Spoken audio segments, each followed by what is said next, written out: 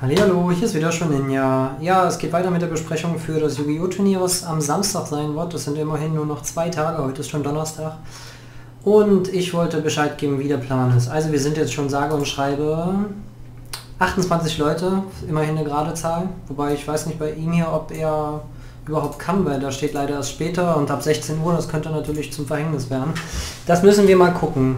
Aber im Gegensatz zu meinen bisherigen Angaben wird es darauf hinauslaufen, dass dass es nur noch Einzelduelle geben wird, weil 28 Leute ist echt viel, weil es muss von den 28 Leuten muss jeder gegen jeden spielen. Also das sind unzählige Duelle, 27 mal 27.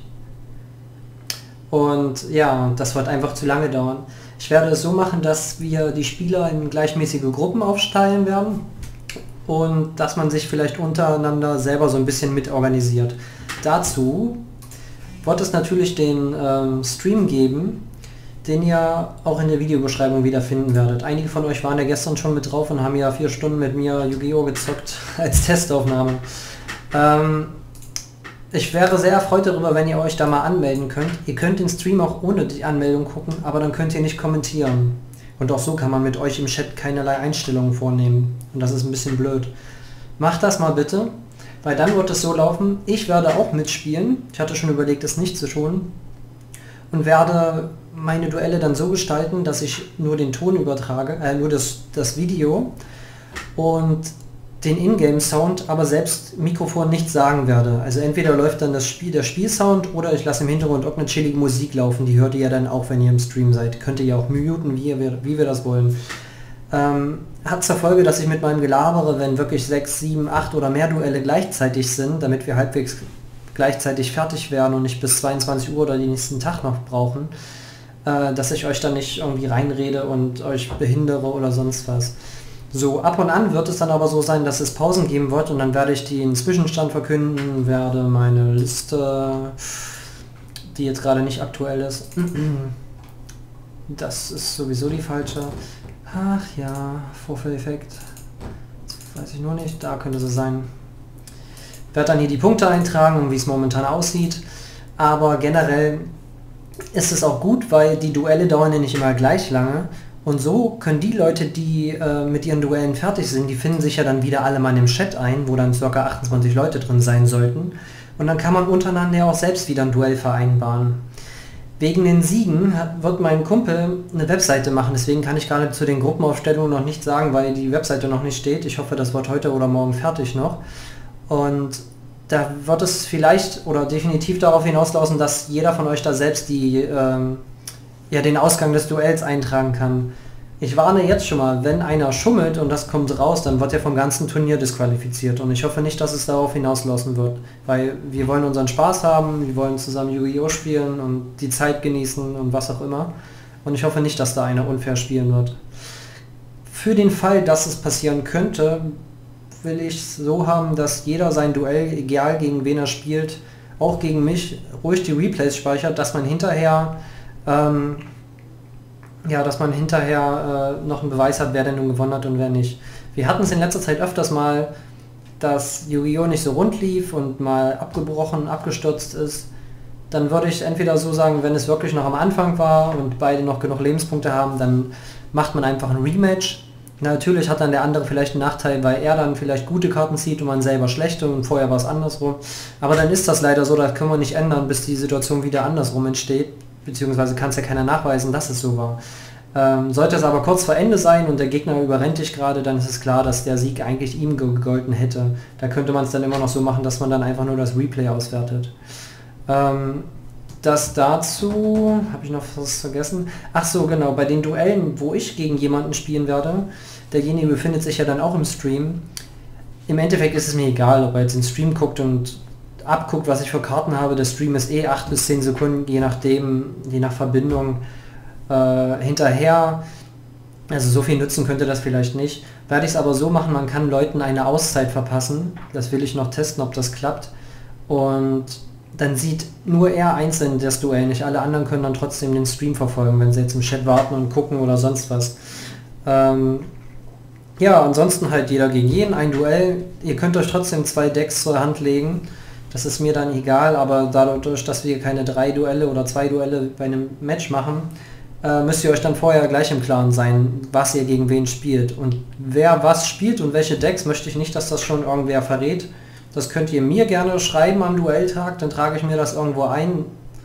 Aber eure Gegner sollten das erstmal nicht wissen und ich will auch nicht, dass ihr wieder, oder was heißt wieder, dass ihr falsche Informationen preisgebt in irgendeinem Video von mir kommentiert, ja, ja, ich spiele äh, ein weißes Drachendeck und dann spielt er das gar nicht und irgendjemand hat sich darauf vorbereitet. Okay, dann ist er selbst schuld, wenn er das glaubt, aber macht das mal nicht, bleibt einfach mal geheim damit.